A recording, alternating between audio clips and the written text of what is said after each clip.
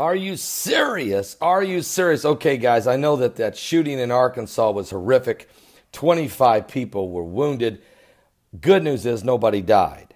And gang violence is something we just, it's, a, it's an issue in this country that is just not being addressed completely.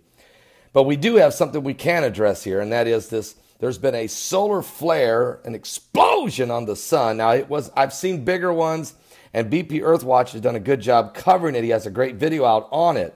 His concern is the fact that it's earth facing and the earth is going to be, we're going to take a hit from the coronal mass ejection. There's no question. CMEs are going to hit us.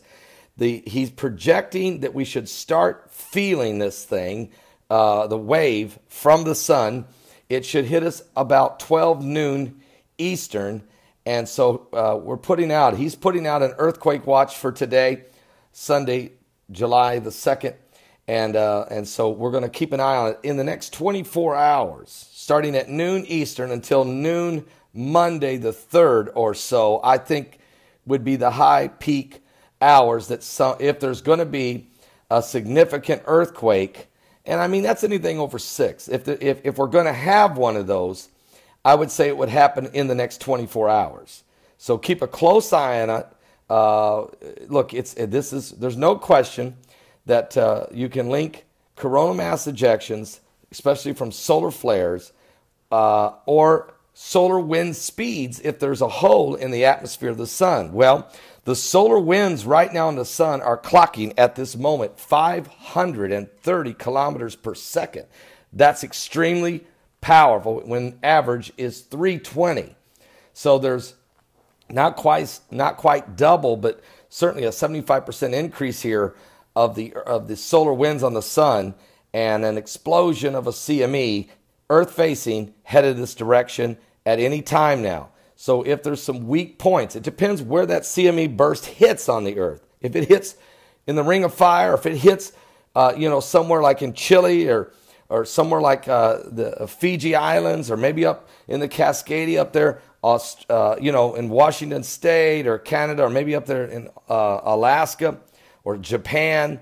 I mean, the Ring of Fire certainly is concerned. You even got to watch down under in New Zealand and, and what have you, because there could be an area where a quake could really do some damage. I always keep a close eye as well on Southern California, uh, but you got to watch Indonesia, those areas. So it just depends where it hits.